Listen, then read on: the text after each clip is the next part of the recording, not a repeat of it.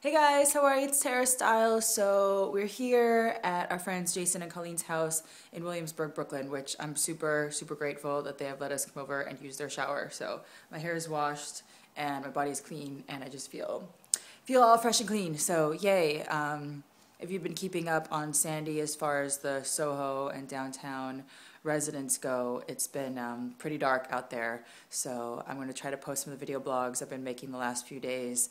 Um, obviously, there's no well, there's no power, there's no cell phone service, there's no. Um, uh, some places have no water. We have water, but we don't have hot water. So I took a pretty cold bath this morning, which I thought would be pretty interesting, but it was just really cold. and then we had yoga. So if you're around, we're having one class a day at Strala until the power is back on fully, and then we'll resume normal schedule. So we had today 12 noon class with Heidi Christopher, so it was awesome.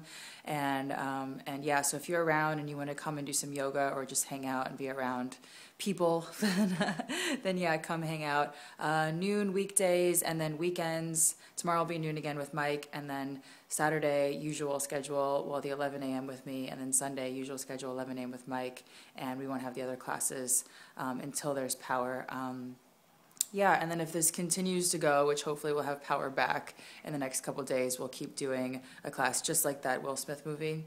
Um, every day at noon, except for the weekends, and we'll be at 11.